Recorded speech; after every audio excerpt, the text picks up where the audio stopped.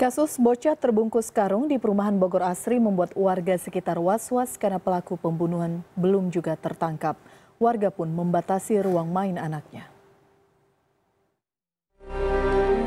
Tragedi yang menimpa Grace Gabriela beberapa waktu lalu membuat warga di Komplek Bogor Asri, Kecamatan Cibinong, Kabupaten Bogor, Jawa Barat, trauma.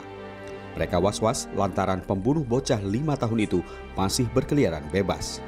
Akibatnya, warga harus membatasi ruang main anak-anaknya. Selain itu, warga juga kian cemas saat melihat orang asing berkeliaran di sekitar kompleks. Semuanya harus waspada lah, soalnya ini kan peringatan buat kita semua, bukan buat warga sini aja, buat semuanya. Lebih hati-hati lagi terhadap anak, main jauh mau main deket, tetap waspada gitu. Sementara itu dari hasil identifikasi awal diduga kematian korban akibat kehabisan nafas serta luka di bagian bibir. Selain itu perhiasan anting dipastikan masih utuh menempel di telinganya. Polisi juga telah memeriksa 10 saksi serta menyita sejumlah barang bukti yang ditemukan di sekitar lokasi, berupa pakaian, bungkusan karung hingga perhiasan milik korban. Muhammad Juanda, Bogor.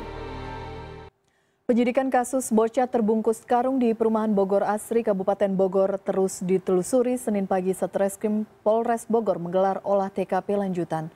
Petugas Satreskrim Polres Bogor kembali menggelar olah TKP lanjutan di lokasi kebun lain sekitar Kompleks Bogor Asri, Kecamatan Cibinong, Kabupaten Bogor, Jawa Barat. Petugas menyisir jejak pelaku dari titik temu awal hingga sebuah kebun kecil lainnya.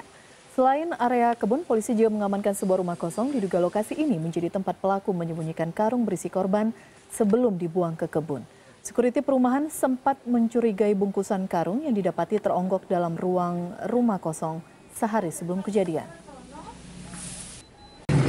Kesaksian dari rekan saya yang kebetulan malam itu waktu e, ibunya laporan bahwa anaknya hilang itu siangnya lanjut untuk malamnya dari rekan kami yang patroli kebetulan melakukan pengecekan ke sana. Memang betul ada kejanggalan. E, ada bungkusan karung bungkusan karung warna putih. Nah kebetulan juga rekan saya juga tidak sempat uh, melakukan pengecekan lebih dalam dikarenakan di situ pun penerangan pun kurang